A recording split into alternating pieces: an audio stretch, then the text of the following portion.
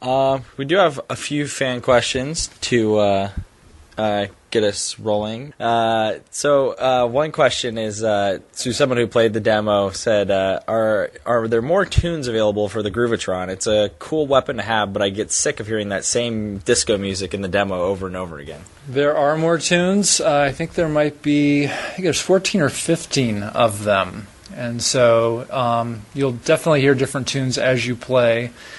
Um, and we're making we've made the Groovitron a bit more rare. I think we've I think we cut down your from five to three that you can hold at once, so to make them feel a bit more special. Um, so you'll definitely hear some more tunes.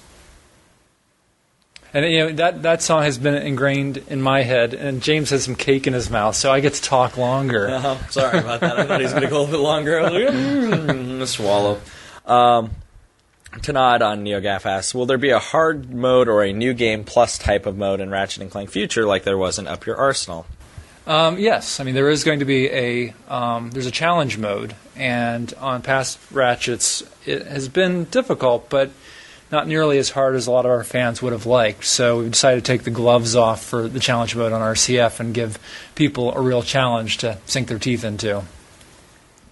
That will be very happy for some of the people on the Insomniac forums who are always asking why won't we make the game harder.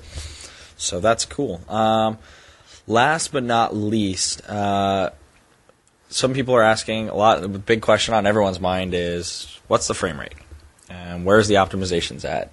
So where, how, how are things looking since we're nearly final? And that's a question we should be able to answer at this point. Sure. Um, well, we've got a we got a variable frame rate, which makes sense for what we're doing, and we've always um, had that. Um, and for the most part, we hit 60. But if you've thrown out a tornado launcher, uh, Mr. Zurkon, uh, plasma beasts.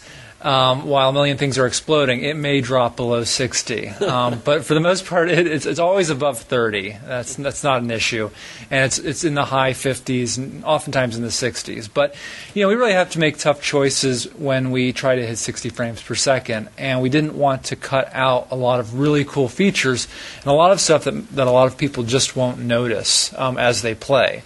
But it's a very smooth experience. Um, I've played through it several times. I don't notice um, frame drops, um, and you know it's just a lot of fun when you're blowing a lot of stuff up at once. Um, you you just don't really care about frame rate. You're just watching a lot of cool effects. I will say, after taking one of the most recent discs, and I've played the E3 demo a lot, and I've been playing it a lot at PAX, and I got back and got one of the most recent discs. I was like, whoa, this is just a lot smoother.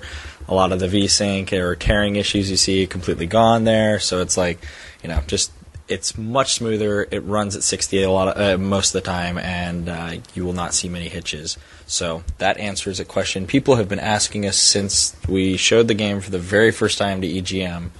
Uh, wow, months and months ago. February. February. Yeah. You want to talk about uh, disk space? We can talk about disk space since uh, that's another question on everyone's mind. Uh, Ryan, you, you've got you're, you've got this. Sure. We talked about this at Media Day, and uh, you may have seen it on Joystiq. Uh, and if not, we will be just over 22 gigs. Um, obviously, that includes the localization of 15 languages and uh, a little bit of necessary uh, system uh, software and padding.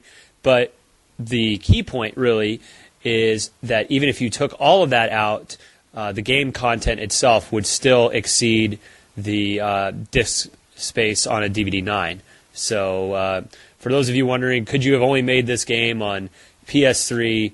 Uh, this particular game, the answer is yes. Yes, we could only fit it on a Blu-ray disc, and on top of that, we need the cell processor and all sorts of other things to uh, make the game look as awesome Right. and run our engine the way it Yes. does. Otherwise, it would run at one frame per second on the PS2. So. yeah, it would take quite a bit. Um, and one other thing, uh, quick touch on: a lot of people have been asking, "Are you supporting 1080i?" Because there's a lot of legacy HD sets.